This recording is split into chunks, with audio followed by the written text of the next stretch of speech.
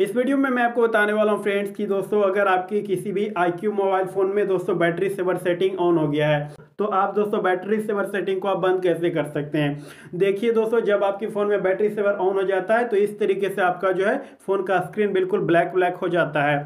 तो आप battery saver को कैसे बंद करेंगे? चलिए मैं आपको बताता हूँ। तो मैं दोस्तों यहाँ पर आपको दो तरीके बताऊँगा। आप दोस्तों दोनों तरीकों से कर सकते हैं। सबसे पहले तरीके में दोस्तों आपको जाना है अपने अपने दोस्तों आई क्यू मोबाइल फ़ोन की सेटिंग्स में।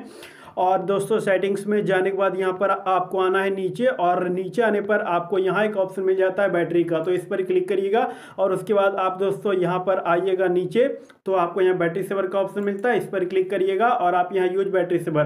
तो दोस्तों, आपको इस सेटिंग के साइड में दोस्तों यहाँ पर क्लिक करना है तो आपके फ़ोन में ये बैटरी सेवर दोस्तों जो है बंद हो जाएगा। तो पहला तरीका हो गया ये। और दोस्तों देखिए, दूसरा तरीका मतलब शॉर्टकट तरीके से आप इसको दोस्तों कैसे बंद कर सकते हैं तो वो भी मैं दोस्तों चलिए आपको दोस्तों देता हूँ दिखा। तो दोस्तों देखिए, शॉर्टकट तरीके से बंद करने के लिए आपको नोटिफिकेशन पैनल नीचे खींचना है। इसमें दोस्तों एक बार जो है फिंगर से आपको स्लाइड करना है। तो फिर यहाँ पर देखिए, बैटरी सेवर का दोस्तों क्विक सेटिंग वाला ऑप्शन यहाँ पर मिल जाएगा।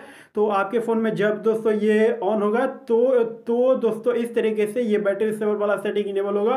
तो बंद करने के लिए आपको क्या करना है कि बस आपको दोस्तों एक बार यहाँ पर क्लिक कर देना है तो आपके फ़ोन में बैटरी सेवर बंद हो जाएगा। सो दोस्तों आप इस दोनों तरीकों से बैटरी सेवर को आप दोस्तों बंद कर सकते हैं अपने अपने दोस्तों IQ के मोबाइल में। वीडियो पसंद आया है लाइक करके, चैनल को सब्सक्राइब ज़रूर करिएगा।